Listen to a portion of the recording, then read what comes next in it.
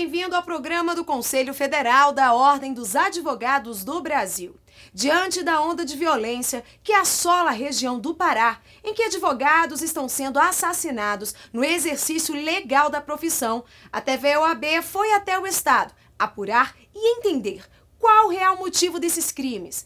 Durante todo o programa de hoje, você vai conferir tudo o que está acontecendo nessa região apurações, andamentos de processos, dados estatísticos, depoimentos e entrevistas exclusivas com autoridades. Você confere tudo isso a partir de agora.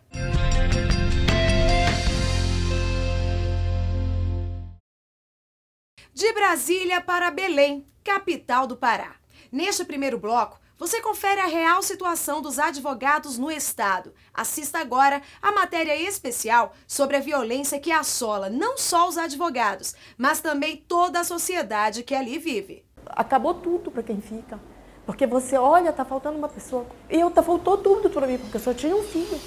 Dados estatísticos apontam que o índice de violência no estado do Pará é crescente a cada ano. Em 2011, foram mais de 37 mortes por 100 mil habitantes, enquanto que em 2012, 39 por 100 mil. Os crimes contra os advogados na região também assolam os altos índices de violência. De julho de 2011 até novembro de 2013, 13 casos contra advogados foram relatados, dentre eles homicídios e ameaças à integridade física dos profissionais que militam no exercício da profissão. A capital Belém ocupa atualmente a 26ª posição no ranking das cidades mais violentas do mundo. Já em nível nacional, todo o estado do Pará apresenta uma das taxas mais altas de homicídio. Está em terceiro lugar, perdendo apenas para Espírito Santo e Alagoas. Só nos últimos dois anos foram assassinados seis advogados. Dentre os seis casos vitimados por pistoleiros está o de maior repercussão nacional. É o caso do advogado Jorge Guilherme de Araújo Pimentel, assassinado em março de 2013 na cidade de Tomé Açu. Ele caiu em uma emboscada por atuar em causas municipais e eleitorais. O inquérito policial é, aponta como suspeitos os, é, o prefeito, na, na, época o atual prefeito, o prefeito que estava né, na gestão municipal de Tomé Açu, e o pai dele, como os mandantes do crime. Esses, essas pessoas, elas fugiram da cidade logo em seguida, e o inquérito policial diz que eles são os principais suspeitos do crime. Nós continuamos né, na estaca zero praticamente. A, justi a, a, polícia, no inquérito policial, aponta os suspeitos, os culpados. A, a justiça é, concede é, o, o, mandado de prisão e, e, esses, e esses caras continuam foragidos. Né? A nossa família toda está indignada, continua o luto, nós continuamos de luto pelo nosso irmão que faleceu, no exercício da profissão.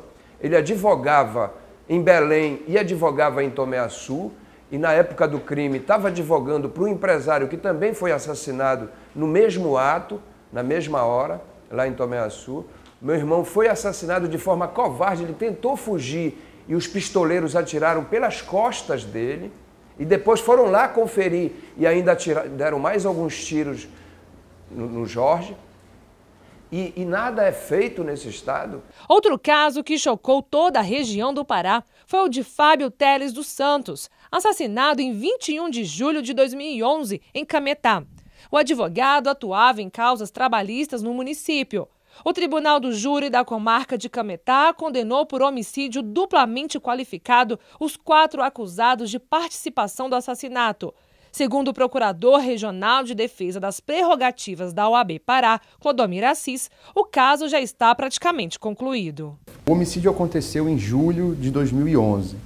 É? As investigações elas aconteceram ainda em julho, em cerca de três dias a Polícia Civil do Estado conseguiu fazer uma investigação bem célere né? e conseguiu chegar rápido aos executores, aos intermediários e identificar inclusive o mandante. Podemos dizer que ele não está concluído ainda, porque ainda é, é, pende, pendem alguns recursos, né? mas já é uma vitória porque nós temos, é, neste caso, uma marca bem, bem distinta dos outros, todos os acusados eles estão presos, passaram a instrução do processo preso, né? Já tivemos a sessão de tribunal do júri de quatro deles, faltando apenas um, e mesmo em fase recursal eles ainda estão presos, né? E acreditamos que assim vão permanecer porque eles não não preenchem os requisitos, não porque é uma perseguição da nossa classe, mas porque eles não preenchem os requisitos processuais para responder em liberdade os processos. Um único filho que eu tinha. Então, para mim, eu, eu, estou condenada para sofrer o resto da minha vida. Os, os que tão, foram condenados foram 14 anos, é uma pena pouco para eles. Mas pelo menos a gente está vendo que a justiça está fazendo o papel dela. Vamos recorrer o, o, a, os anos que deram, que foi muito pouco, vamos ver o que vai acontecer. Mas pelo menos a gente está vendo que está tendo uma boa vontade da parte da ordem. Agora, o que eu estou esperando é das autoridades, do governo, dos deputados que estão aí, que tem que dar um basta nessa, na violência. Hoje, as nossas crianças não estão podendo andar com o celular na rua. É, estão matando por causa de, de, coisas que, coisas materiais que não, não valem uma vida. O meu filho perdeu a vida no, no depoimento, ele, ele diz que foi por causa de mil reais. A vida do meu filho valeu mil reais com um pistoleiro. Então é muito triste. A vida do meu filho não tem preço. Então, se, eu, se não ter um basta, o que vai ser de nós?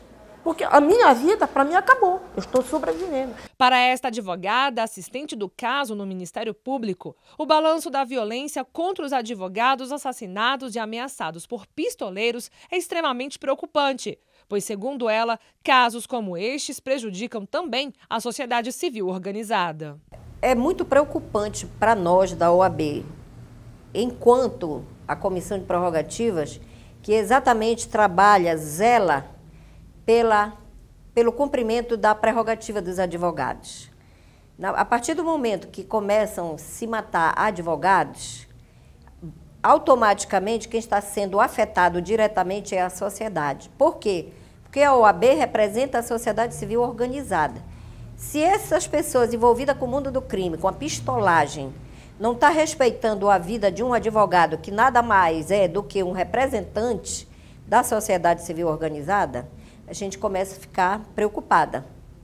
O Estado democrático do direito está sendo abalado, afetado. Então precisamos, enquanto OAB estadual, OAB nacional, enquanto autoridades constituídas do Estado e da nação, precisamos alertar para que fatos dessa natureza não venham se repetir e piorar ainda mais o quadro que nós estamos vivenciando hoje no estado do Pará. Lamentavelmente, nós estamos com um problema crucial com a área de segurança pública no Pará. Precisamos de uma mudança urgente. Precisamos que o governador do estado do Pará, o secretário de Segurança Pública, trabalhe no sentido de realmente se empenhar para que fatos dessa natureza não voltem a acontecer novamente. A Polícia Civil está em greve no estado do Pará. E aí, como é que nós vamos ficar? Polícia Civil toda em greve. Delegacias funcionando de maneira bem lenta. Porque o governador não cumpre com o cumprimento dos direitos dos policiais. Isso afeta o nosso trabalho, afeta as investigações. Tem que haver um empenho muito grande do maior gestor público desse estado, que é o governador, do secretário e das pessoas envolvidas com a segurança pública do estado do Pará. O caso mais recente de advogado assassinado é o de Dácio Antônio Gonçalves Cunha, da região de Paraupebas, ocorrido em novembro de 2013. O advogado estava na porta da sua casa aguardando a entrega de uma pizza, quando dois homens sem capacetes desceram de uma motocicleta, dispararam contra ele e fugiram. Uma equipe da Polícia Civil foi encaminhada até o local e o caso ainda se encontra em início de investigação. Foi no exercício da profissão, está devidamente comprovado e foi claramente que foi uma execução. Foram dois tiros na cabeça, então caracteriza que foi uma execução. Quem foi, foi para matar de verdade, não foi para deixar recado. Estamos cobrando, estamos cobrando localmente a nossa obsessão a Delegacia de Polícia de Parapebas, né, o Ministério Público, e aqui em Belém, o doutor Java Vasconcelos está fazendo a sua vez junto aos órgãos, a segurança, a segurança pública, ao governo do Estado. Vejo isso muita tristeza e acredito que nós, né, a Ordem dos Advogados, Pará e Conselho Federal, devem implementar alguma alguma atividade, alguma é, cobrança nacional, estadual, para que efetivamente a segurança seja realizada no sul do Pará, porque a nossa região é uma região muito violenta e o Brasil não acorda para isso, o Brasil não olha com os olhos que deveriam olhar, porque hoje no sul do Pará, especificamente Carajás, nós temos o maior PIB do Brasil, economicamente falando, onde está a Companhia Vale do Rio Doce. Temos a maior divisa financeira e, em contrapartida, não, esses recursos não são aplicados em segurança, não são aplicados em saúde. Então, acho que com a, morte do nosso colega, é, tem, tem um, um lado positivo, que as pessoas começaram a olhar mais para a nossa região. Silvio César Maués é o diretor de polícia do interior do Pará. Ele assegura que o acompanhamento das investigações estão acontecendo para que os assassinos sejam punidos. Inclusive, recentemente foi criada uma estrutura e até uma comissão para fazer o acompanhamento desses casos, justamente para que a gente possa deixar bastante à vontade eh, os profissionais da área, no sentido de que tenham a certeza de que o Estado ele tem essa preocupação, né, naturalmente, e que é, o acompanhamento desse, desse, desse, dessas demandas todas que envolvem os profissionais da área tem sido colocado de uma maneira muito, muito clara, até porque há um acompanhamento. Nós temos ah, uma relação muito próxima e muito boa com os profissionais, com, com as representações da ordem, tanto na capital quanto nas regionais do interior, né, nas subseções do interior. E, e, e, essa proximidade permite a todos que tenhamos essa, é, essa facilidade no contato, essa busca de informação, essa troca, muitas vezes, de informações que acabam, de alguma forma, auxiliando o próprio trabalho da polícia, mas que, que permitem também esse acesso permanente, esse acompanhamento da ordem é, em todos os eventos que envolvam advogados. E a resposta por parte do aparato do Estado, ela tem sido extremamente eficiente no sentido de, de trazer a solução que cabe a, ao Estado através da, da Polícia Judiciária, por exemplo, que é a elucidação do crime e prisão dos envolvidos, né, para que eles possam efetivamente serem processados e possam responder pelas práticas é, delitivas. E no segundo bloco, você continua com o nosso programa especial sobre as mortes dos advogados no interior do Pará. Voltamos já!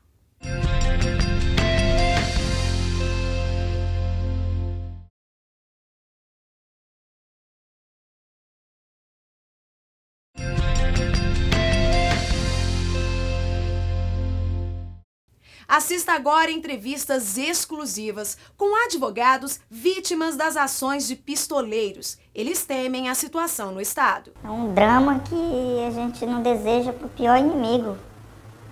Um drama que você carrega pro resto da vida, você tem que aprender a, a superar, você muda a sua rotina sem perceber. No meu caso, eu mudei muita coisa. Então é um, um momento que você deseja esquecer, mas não esquece. Este é o desabafo de mais uma vítima dos crimes contra advogados no estado do Pará. O medo é tão grande que o homem teme ser identificado.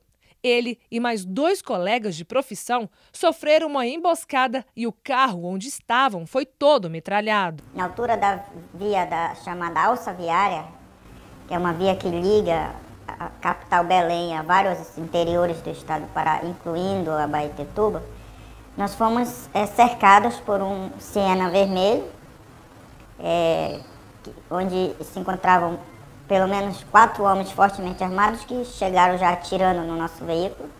Nós estávamos no Corolla. Cercaram o nosso carro, desceram, metralharam o nosso carro e por, por intervenção divina nós sobrevivemos em razão do carro em que nós estávamos ser um carro blindado.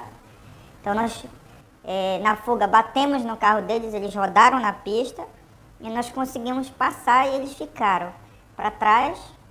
Mais na frente, o nosso carro parou, cerca de um quilômetro e meio, porque com a batida, o radiador do nosso carro parou de funcionar, o nosso carro parou.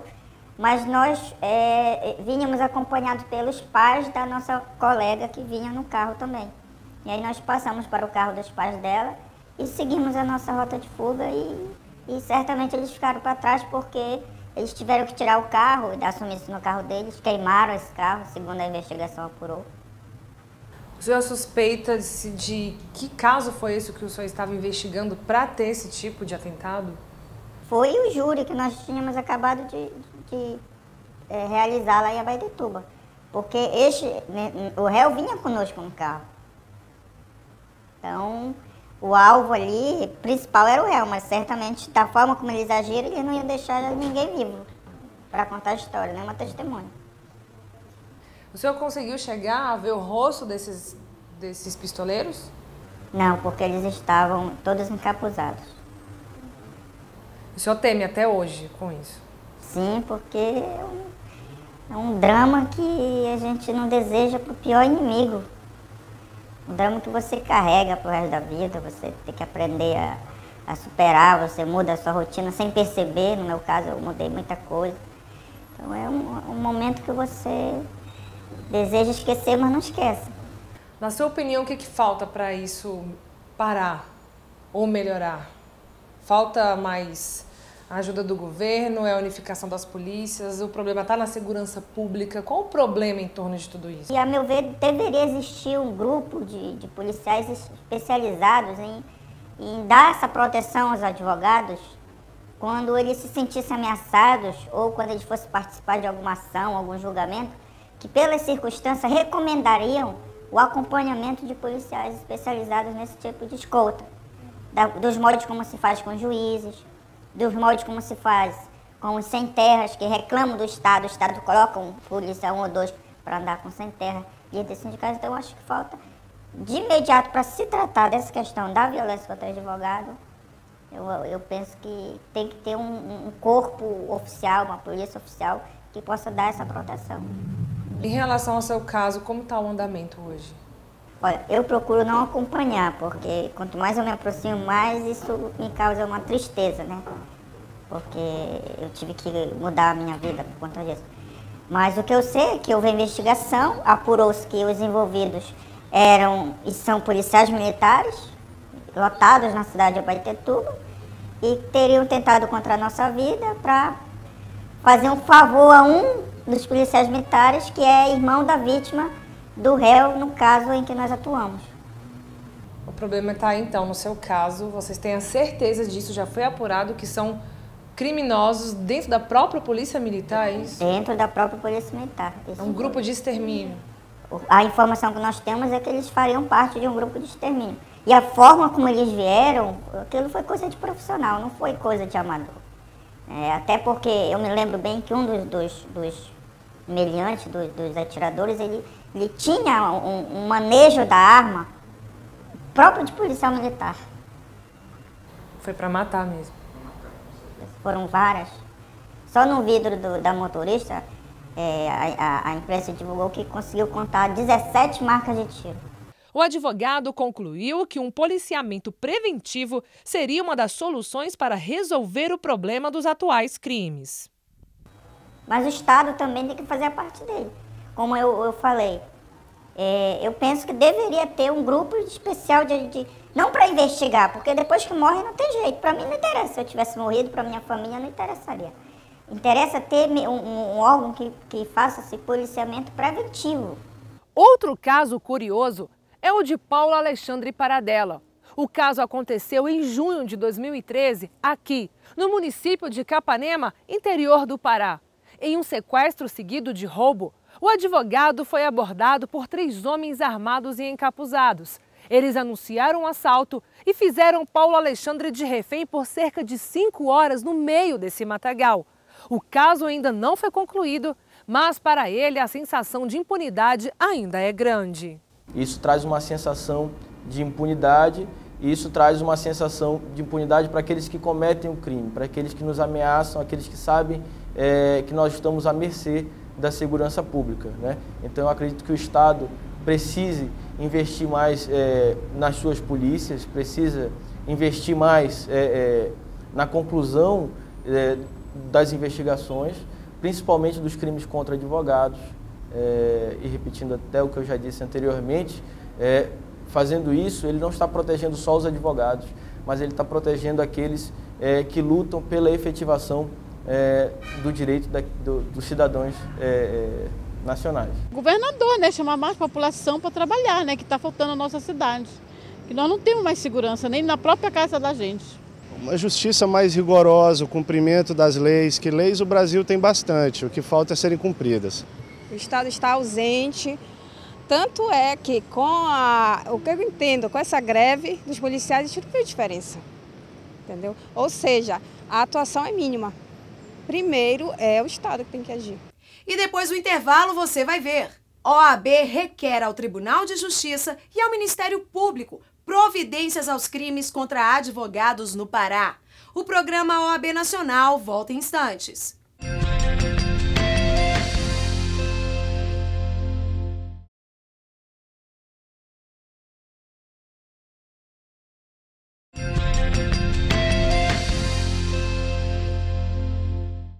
O Conselho Federal da Ordem dos Advogados do Brasil participou de uma audiência conjunta na seccional da OAB paraense, com os representantes do Tribunal de Justiça e do Ministério Público Estadual, para discutir e pedir celeridade na tramitação e apuração de processos criminais referentes aos casos de violência contra advogados no Pará.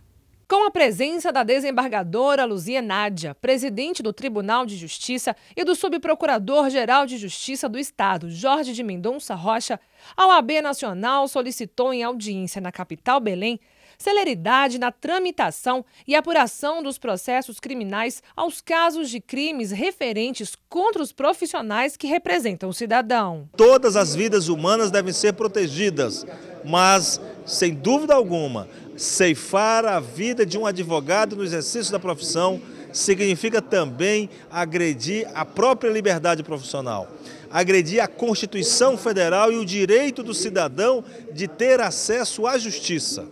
Violar o advogado é violar a cidadania. E a Ordem dos Advogados do Brasil se encontra presente aqui no estado do Pará, aqui em Belém, para dizer às autoridades que estamos acompanhando com muita atenção e que iremos pessoalmente nos dedicar a esses casos, para que eles não restem impunes, para que haja a responsabilização e a punição daqueles que ceifaram a liberdade da profissão do advogado, agredindo a vida de colegas profissionais. Portanto, nós agradecemos esse gesto simbólico e que tem uma carga de valor muito grande quando o Estado diz que não vai esperar que a sociedade vá até ele, mas o Estado vem à Casa da Cidadania. Parlamentares, conselheiros de seccionais e familiares dos advogados vitimados também estiveram presentes na audiência. A Assembleia cumpre um papel de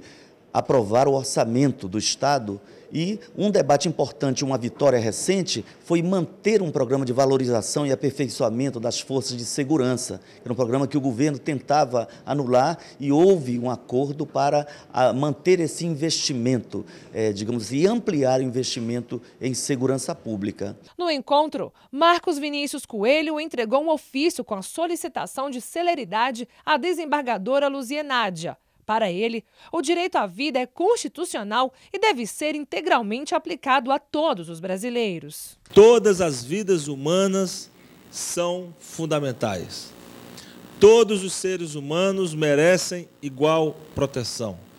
O direito à vida é um direito constitucional que deve ser integralmente aplicado a todos os brasileiros inclusive aos estrangeiros que estejam na órbita jurídica nacional.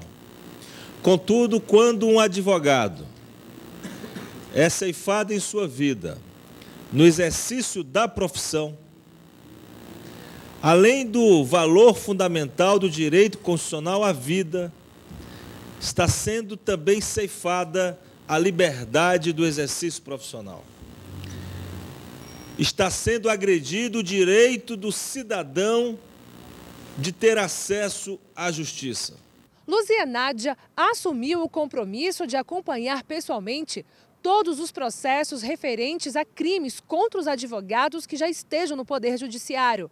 Ela afirmou ainda que haverá uma tramitação mais célere com prioridade necessária de cada caso. Um advogado que é atingido no exercício da sua profissão, todo um sistema judiciário é atingido. E diante disso, o poder judiciário não pode se esquivar, tem que ficar atento e acompanhar esses processos para que eles possam ter a tramitação mais célere e o melhor resultado que for possível. Ficou acordado nessa reunião, e isso é muito bom, porque a reunião teve já um resultado, é que nós nos encontraríamos de três em três meses, no sentido de identificar a, o acompanhamento, identificar como está o processo, a tramitação e o acompanhar principalmente. E qualquer situação que seja necessária, uma imediata intervenção, cada um na sua esfera possa fazer. Por isto que a OAB está empenhada em ter uma ação enérgica aqui no estado do Pará, buscar sim alternativas para que tanto o governo federal quanto o governo estadual tenham condições efetivas de trabalho na busca eh, de coibir esta criminalidade crescente aqui no estado do Pará. Ainda em visita à capital paraense, o Conselho Federal da OAB se reuniu com o governador e exigiu uma solução dos crimes que rondam o estado. O presidente do Conselho Federal da Ordem dos Advogados do Brasil, Marcos Vinícius Furtado Coelho, entregou ao governador do estado do Pará, Simão Jatene, um ofício da ordem que cobra a criação de um grupo de atuação especial de repressão a crimes de representatividade. Portanto, a ordem ela cobra resultados, ela exige que tenhamos uma atenção é, mais eficaz de o grupo deve atuar de forma direcionada e orientada para priorizar a apuração e a solução dos crimes cometidos contra as pessoas que atuam em defesa do cidadão. No encontro, Marcos Vinícius Coelho exigiu a atenção dos órgãos em relação à segurança pública. Se colocar à disposição para contribuir no que estiver ao seu alcance, no sentido de alcançar os recursos financeiros e o apoio institucional é necessário para a obtenção dessas importantes respostas que a sociedade espera de todos os entes públicos. E no último bloco você não pode perder o depoimento exclusivo do presidente da OAB do Pará, Jarbas Vasconcelos, sobre os assassinatos contra advogados no exercício da profissão. Voltamos em instantes.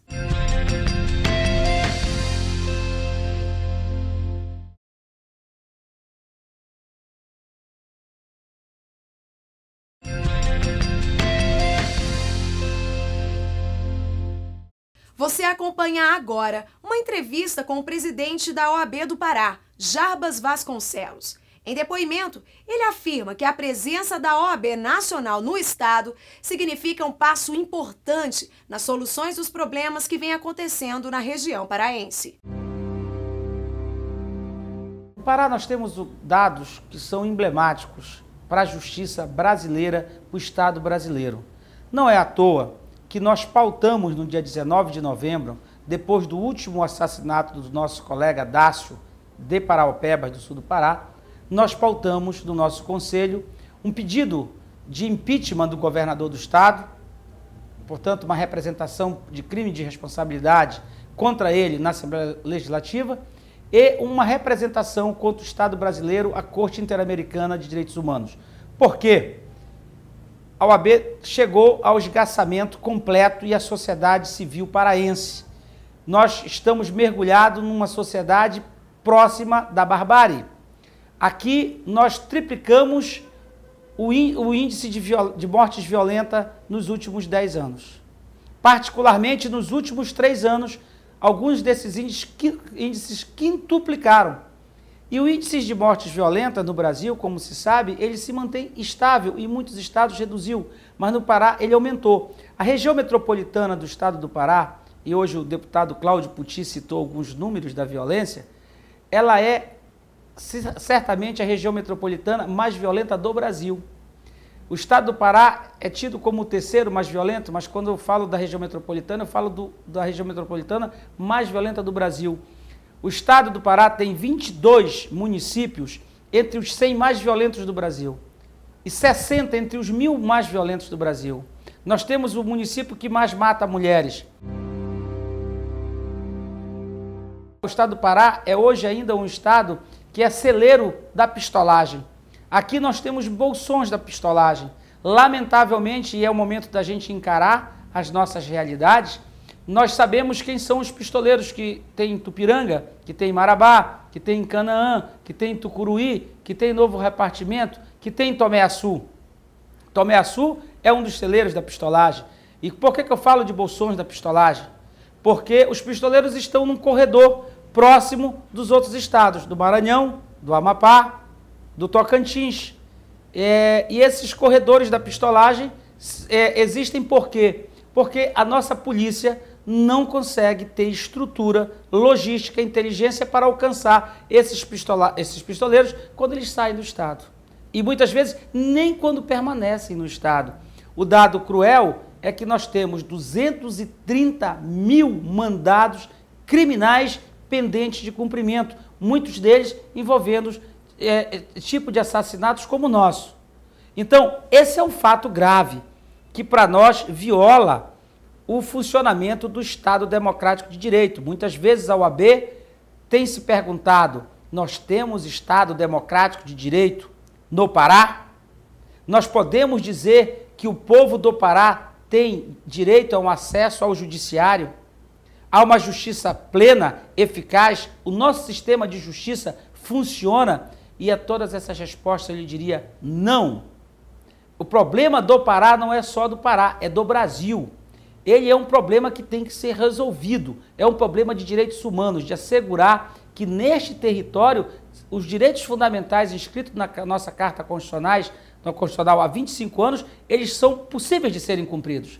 Mas o que nós temos no Estado do Pará é uma justiça errática, aleatória, incerta, duvidosa, que estimula e alimenta uma corrente perpétua de criminalidade. O nosso sistema penal é podre, para 99% daqueles homens que estão encarcerados, mas para 1% que está lá, que é rico ou pago para ser segurança e pistoleiro de homem rico, ele vive numa, muito bem. Em cama, com ar-condicionado, com celular, com televisão, etc. E ele vai sair daqui a um ano para continuar delinquindo. Ele recebeu 100, 200, 500 mil reais. Para ele foi extremamente lucrativa a operação que levou ao fim da vida do meu colega advogado. Essa é a realidade. Essa é a realidade pela qual a OAB pautou representar contra o Estado brasileiro para, para a Corte Interamericana de Direitos Humanos e também pautou o impeachment do governador, porque é preciso que se assegure os mandados criminais. Se você me perguntar hoje qual é a profissão que mais cresce no Pará, eu não tenho nenhuma dúvida de defensar. Pistoleiro. Essa é a profissão que mais cresce no Pará. Eu lhe dou um dado. No Pará, a polícia só consegue fazer inquérito das, da metade dos crimes que ocorrem na realidade. Dessa metade, ela só chega ao final é, de uma metade. Desta metade que chega ao judiciário, essa metade é, é conduzida à prescrição quando o processo chega ao final. Aqueles casos que vão a julgamento, que têm mandados de cumprimento, o dado cruel é esse, 230 mil mandados. Onde é que de que se refere esses mandados? Se refere ao caso do Jorge Pimentel. Em 15 dias a polícia elucidou e disse quem eram os mandantes, quem contratou os pistoleiros, quem eram os pistoleiros, quem foi que facilitou. Em 15 dias. Mas passado 10 meses, havia apenas dois pistoleiros presos. Dois pistoleiros presos. Pistoleiros esses presos que o primeiro emprego foram de ser pistoleiro e eles estão com 28 anos de idade, 12 anos da profissão da pistolagem.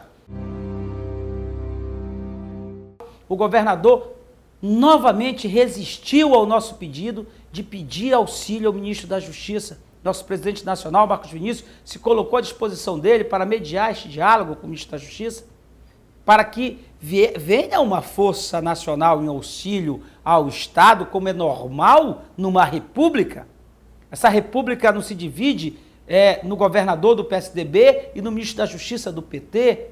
Ela se chama República Brasileira, onde tem um governador que é, governa uma unidade da federação e um ministro da Justiça que cuida do sistema de justiça nacionalmente.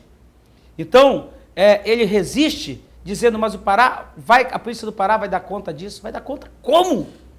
Eu tenho 230 mil mandados criminais não cumpridos. É quase um desafio ao advogado ter o seu cliente condenado, julgado, preso e condenado no Pará. Então eu estou falando de fatos graves que exigem uma ação enérgica. E nós temos um governador do estado que se recusa a pedir apoio ao ministro da Justiça, que se recusa a falar com o presidente da República.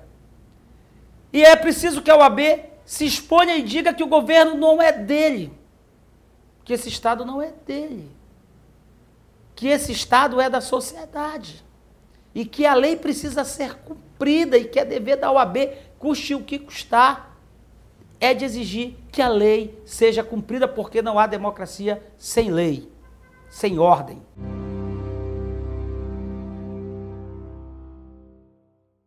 Para mim, é uma grande vitória, não da OAB, mas da sociedade e da advocacia. Nós queremos que esse grupo funcione, porque esse grupo parte da noção de que nós temos no estado do Pará aproximadamente 60 a 80 casos emblemáticos de assassinatos de padres, de líderes sindicais, de líderes socioambientais, advogados, é, autoridades, e que é, é, são esses casos que levam o Pará a ser criticado pela opinião pública internacional.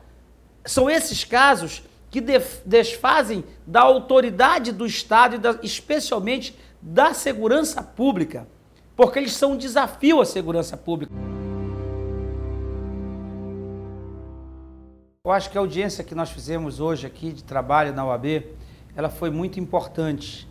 Pela primeira vez, nesse tempo todo, nós pudemos reunir num único local, num único momento, as autoridades do Poder Judiciário Estadual, do Ministério Público Estadual, da Assembleia Legislativa do Estado e também do Congresso Nacional.